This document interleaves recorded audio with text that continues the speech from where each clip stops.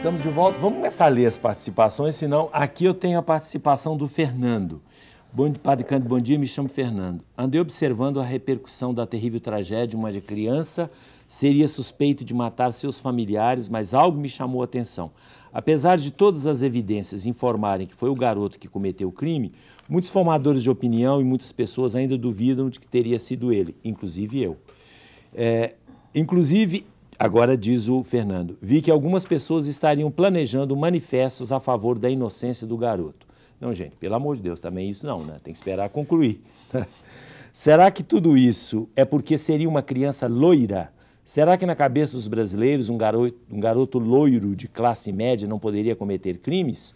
Se fosse uma criança negra e pobre, o senhor acha que haveria tanta repercussão a favor do garoto? Enfim, acho que em tudo isso há uma certa dose de preconceito. Todos nós somos passíveis de errar, negros, brancos, pobres, ricos. Não deveria haver essa surpresa excessiva por parte da mídia. Eu acho que é a surpresa, eu também estou muito surpreso, mas não tem nada a ver com, com o garoto ser branco, preto ou não. Tem a ver o fato ele de ser uma família, ter pai, ter mãe, ter parentes, ter uma escola com notas boas, ter uma, uma, uma, um laudo psiquiátrico ou psicológico que ele é uma criança normal, que escreveu um bilhetinho para o pai no dia dos pais, que amava o pai eternamente. Isso é que surpreende a gente. Eu acho que não entra isso não, viu? Eu acho que está mais na cabeça da, das pessoas que fazem esse tipo de julgamento. É, vamos ver. Bom, vamos agora ver a fala do Paulo Agostinho Nogueira Batista, é, sobre como conviver. Não, não é essa não. É sobre explicando se as seitas têm uma doutrina. Vamos lá.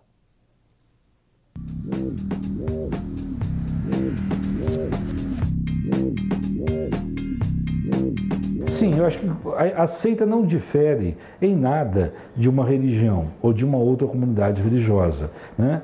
Ele pode acentuar alguns aspectos né, é, dentro de uma doutrina. Então não há todo grupo religioso ele tem sua doutrina, a grande maioria tem rituais, né? uma boa parte deles tem livros sagrados, tem todo um padrão moral. Né, de organização hierárquica. Então a seita não difere dos outros grupos nesse sentido. Eles têm a doutrina. Agora você vai ter que depois analisar cada caso. Né? Que tipo de, de grupo? Porque, em geral, alguns grupos que foram seitas naquele sentido sociológico que eu já mencionei, da separação de um grupo menor, com o tempo eles crescem. Se você pensar que o cristianismo também foi uma seita no campo do judaísmo, né? olha, hoje o cristianismo é uma religião, a maior religião do mundo, né? e se você comparar né, numericamente, o judaísmo é um grupo pequeno hoje. Né?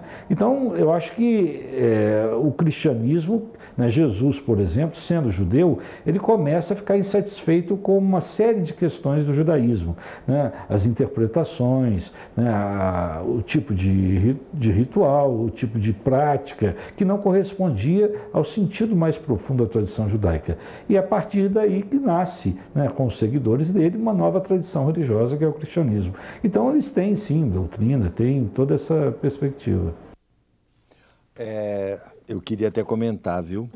Quando ele fala que eles têm, tudo bem que tem, mas uma das características da seita é que o sistema doutrinário é muito simples.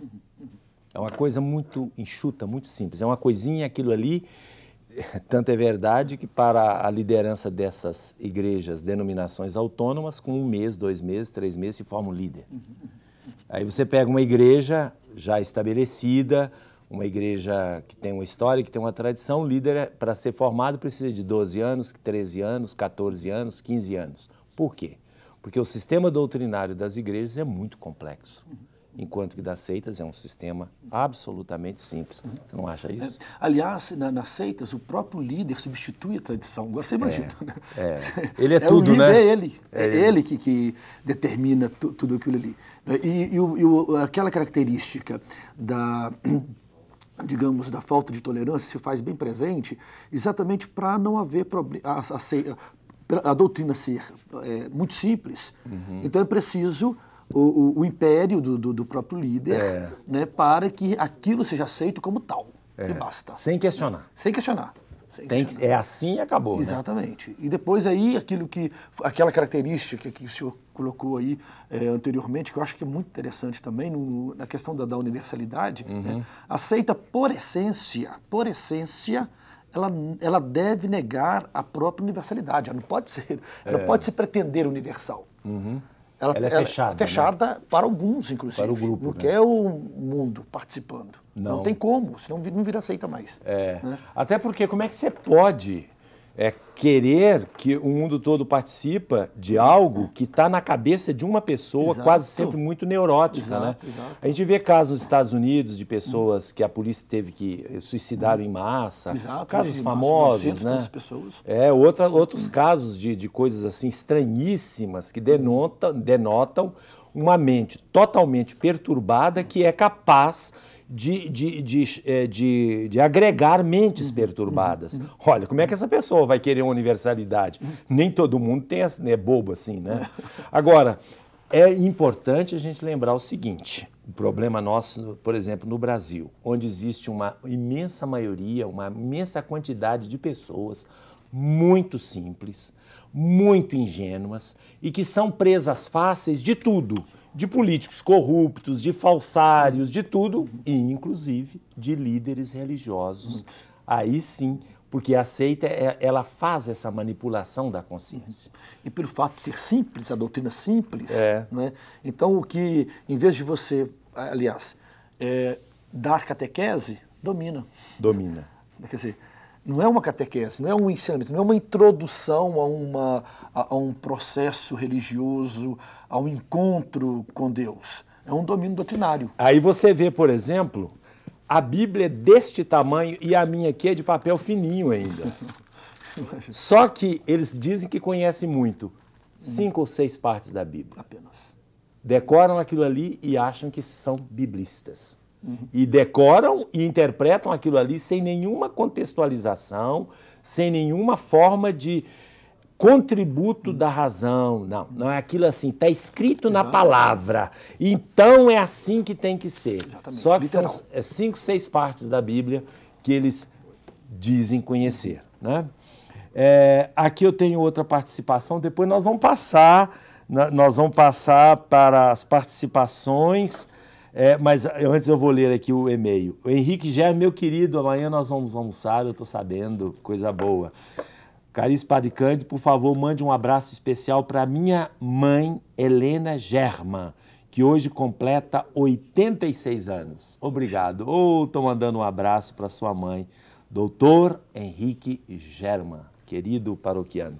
E também aos seus dois filhos, a sua esposa e agora sua mãe. Você tem coisa aí para falar para gente? Temos sim, padre. Vamos bom lá. Bom dia, bom dia aos telespectadores. Começar mandando um abraço para Natália Graciele, Bernardo Diego do Barroca, Marli Moreira também do Barroca, o André Finamore do bairro Gutierrez. É, mandar um abraço também para os nossos internautas. Aqui no Facebook a gente tem um comentário do Ademir Soares. Sobre o terceiro bloco do programa, acredito que quando a pessoa passa a frequentar outra igreja de outra denominação, é porque não concorda tanto com a doutrina da sua igreja específica.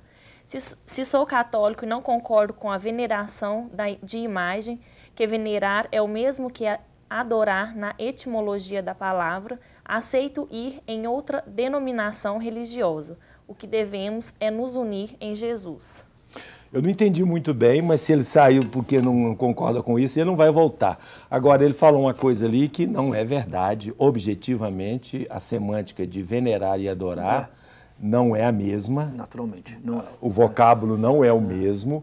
Né? E, agora, existe, evidentemente, é, na, na, na, linguagem popular, você usa é, sem sem muito escrúpulo, você usa as palavras. Você fala, eu adoro doce de leite, por exemplo. Uhum. Você, mas você não está falando isso no sentido do verbo adorar, que é prestar um culto a um absoluto da vida, que é entregar absolutamente a sua vida. Isso é adorar e só se adora a Deus, obviamente. E venerar, sim, você venera isso, você venera aquilo, você venera ah, os nossos antepassados da pátria, Olavo Bilac, literato, é, o general Osório, Duque Osório, não sei de quê. Essas venerações militares, culturais, sim, claro. a gente faz isso, não claro. tem problema, você não está adorando. De modo que quem fala assim é preciso aprofundar um pouco mais, mas não é esse o problema. Está insatisfeito não é por isso, está insatisfeito é por outras coisas que eu acredito que sejam mais substanciais. O Pablo Figueiredo, do bairro Palmeiras, quer que o senhor explique o que são igrejas pentecostais e neopentecostais, e se as igrejas protestantes não históricas são também definidas cristãs. É cristão quem professa Jesus Cristo como Salvador, a Santíssima Trindade, quem basicamente, mesmo não falando, a reza ou acredita na mesma profissão de fé de Nicéia e Constantinopla que todos os cristãos professam. Se professa Jesus Cristo, Filho de Deus, nosso Salvador, na Santíssima Trindade, é cristão. Voltamos daqui a pouquinho para qual bloco agora? O sexto bloco. O sexto bloco, já estamos chegando ao final.